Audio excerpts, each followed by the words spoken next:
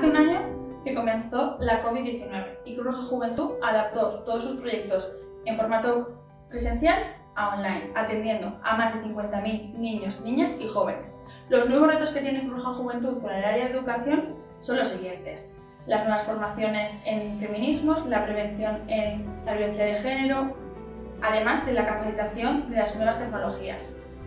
Cruz Roja responde la organización de la sociedad para la sociedad.